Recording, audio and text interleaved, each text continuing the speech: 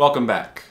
So today I want to share part three of the 15 sounds exercise where we'll permutate three limbs at a time in unison while one limb remains constant. This variation is probably the most revealing so far that we've covered. So there are fewer permutations in this variation, but you'll know right away when one limb is not playing in time with the other limb because you can hear a flam happening.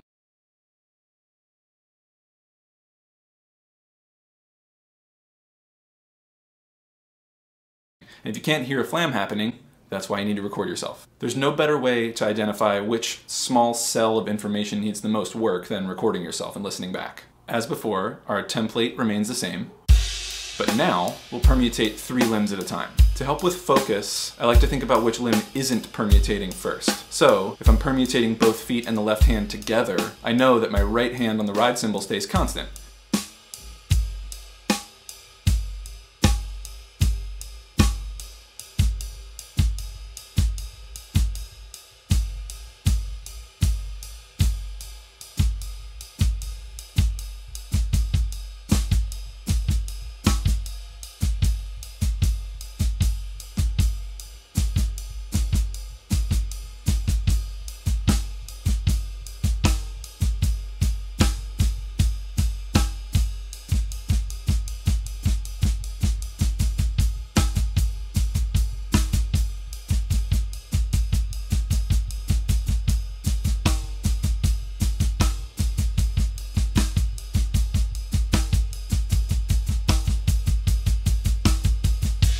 Now, the left hand stays constant, permutating right hand and both feet together.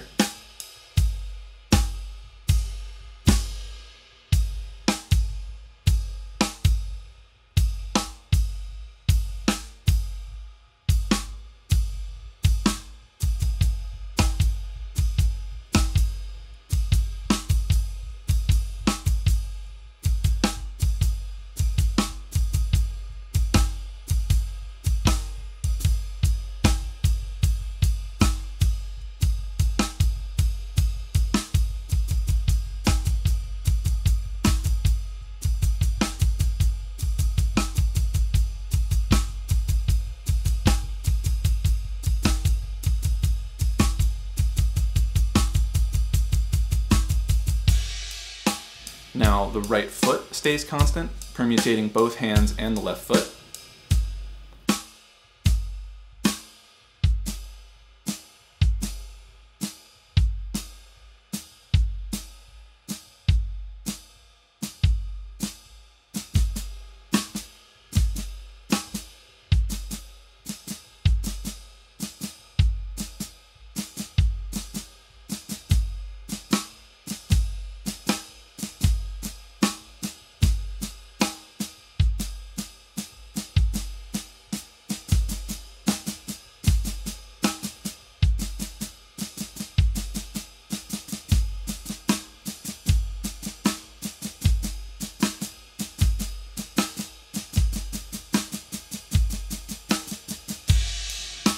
Finally, left foot stays constant, permutating both hands and the right foot together.